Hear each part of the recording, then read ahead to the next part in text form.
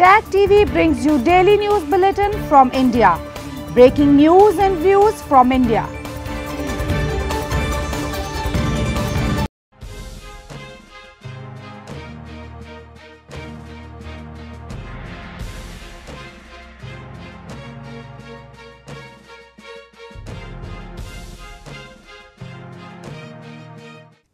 Good evening. Welcome to South Asia Newsline. I'm Yeshi Chanzom. Here are the top stories we are tracking for you on Monday, the 31st of May. India sees lowest daily rise in 50 days with 150,734 new COVID cases. Protests in Gilgit-Baltistan after activists arrested for social media post. And Bangladesh extends nationwide lockdown closure of border with India.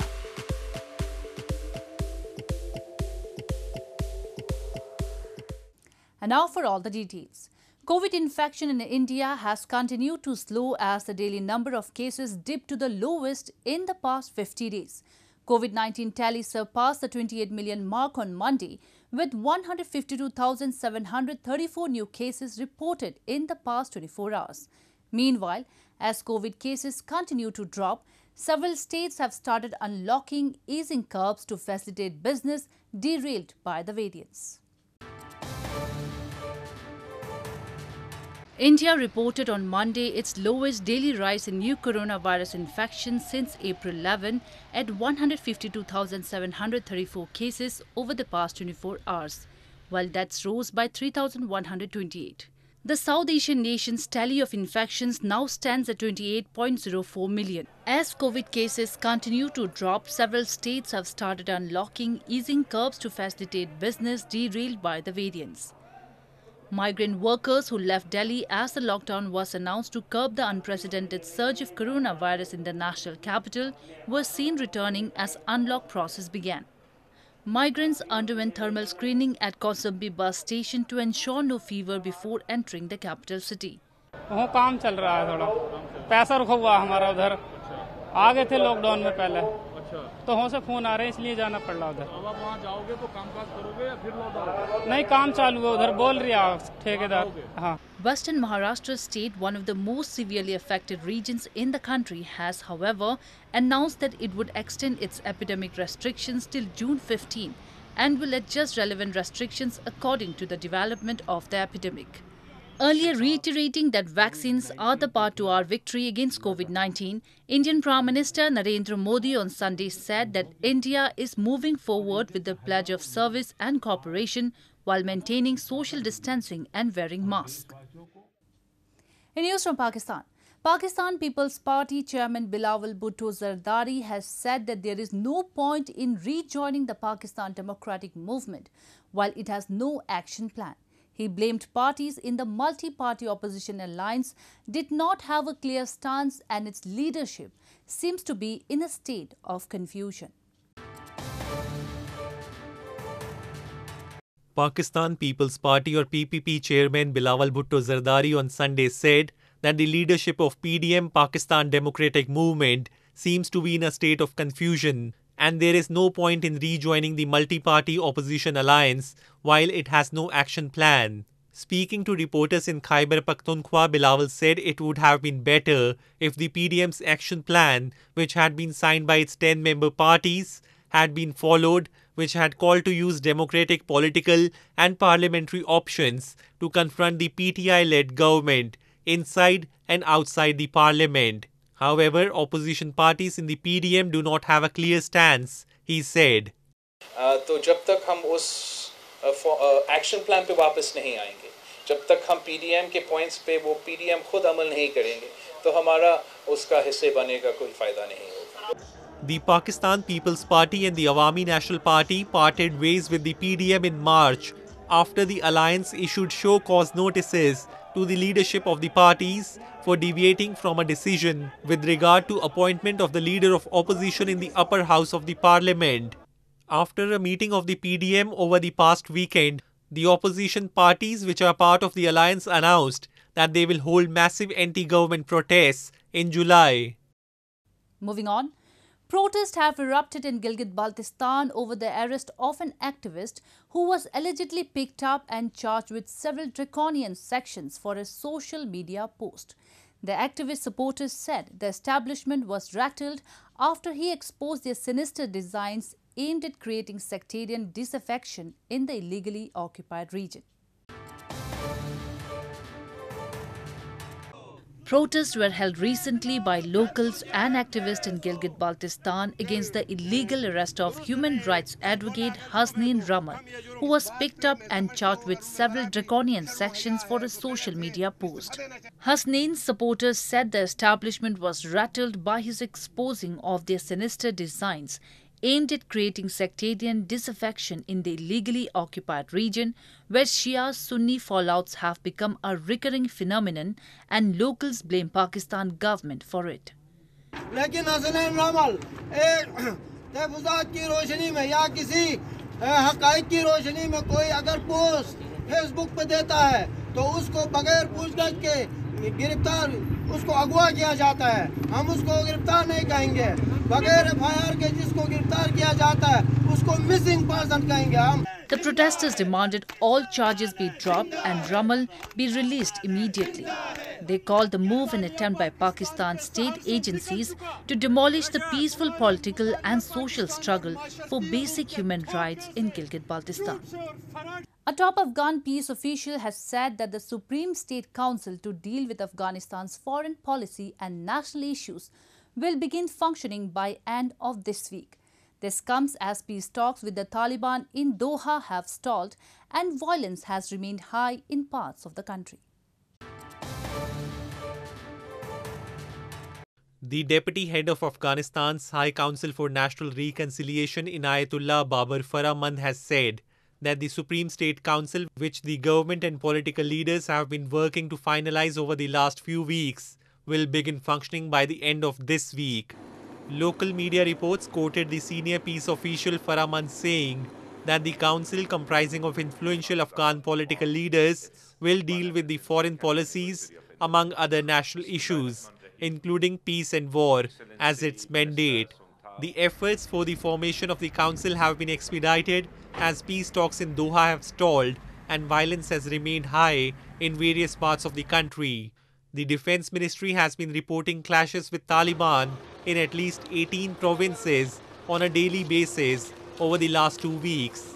Meanwhile, on Monday, as foreign forces withdraw from the country, the United Kingdom said hundreds of Afghans who have worked as interpreters or in other roles as local staff for the UK government or British military will be allowed to relocate. UK's Defence Secretary Ben Wallace said that those that might otherwise be at risk of reprisals from the Taliban were being considered.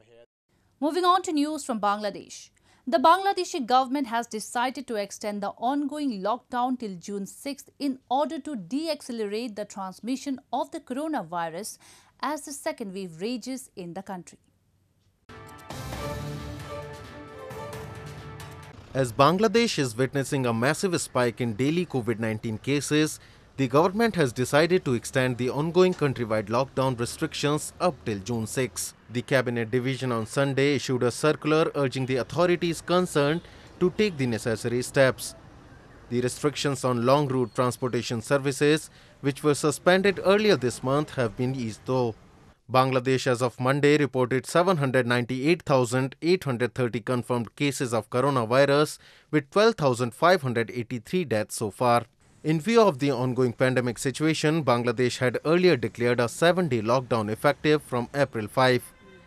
This was later extended with strict measures in phases until May 23 and again extended till May 30. Bangladesh has also extended the ongoing ban on public travel through land ports to and from neighboring India till June 14.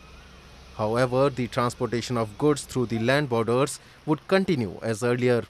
In news from Nepal, the body of an American climber who died on Mount Everest earlier this month has been brought to the morgue in Nepal's capital Kathmandu on Sunday.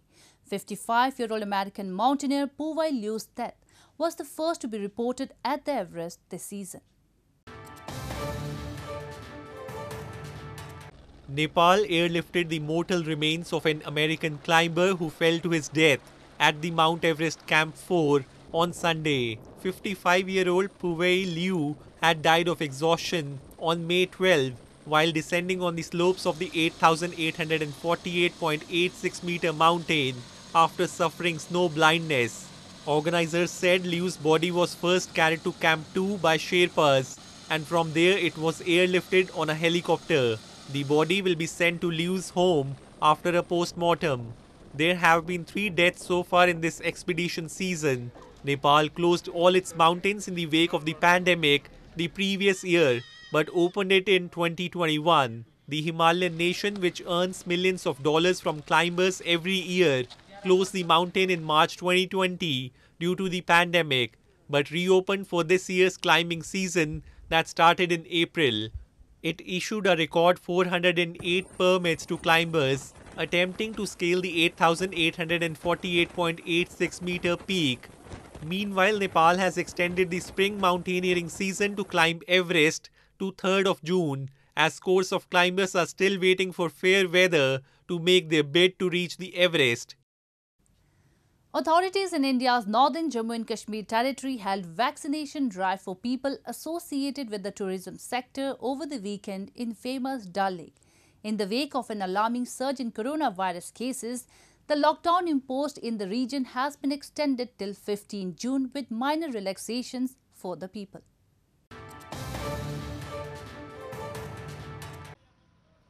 A coronavirus vaccination drive was held in picturesque Dal Lake for people associated with the tourism industry in India's northern Jammu and Kashmir on Saturday. Vaccination centers were set up at the banks of the iconic lake, where houseboat owners, boatmen, vendors, and taxi drivers were among those who were inoculated. The aim was to ensure safety of the people associated with the industry, tourists, and minimize the risk of spreading coronavirus. हमारा aim ये है कि जितने हमारे travel trade के साथ लोग वाबस्ते हैं खासकर जिनका इंटरफेस टूरिस्ट के साथ होता है और जो हमारे वालनरेबल लोग हैं हम उन सबको जो है वैक्सीनेट करें। Dal lake is a famous tourist attraction tourist from different parts of the country and the world thronging the lake every year to enjoy rides in the famed house boats of the lake and unwind हम लोग बहुत खुश हैं कि जो ये आज driving हो गया ये तो हम खुश हैं। इससे हम भी सेफ़ है हमारे घर वाले भी सेफ़ है। लोग भी सेफ है और जो टूरिस्ट आएगा वो भी सेफ है The COVID 19 cases and deaths in Jammu and Kashmir territory declined on Monday. Out of 288,940 cases, 37,677 are active, 3,870 have died. Meanwhile, COVID lockdown in the region has been extended till June 15 in view of the coronavirus situation. Well, that's the way it was in South Asia this evening. Before we conclude the top stories once again. India sees lowest daily rise in 50 days with 150,734 new COVID cases. Protests in Gilgit-Baltistan after activists arrested for social media post. And Bangladesh extends nationwide lockdown closure of border with India.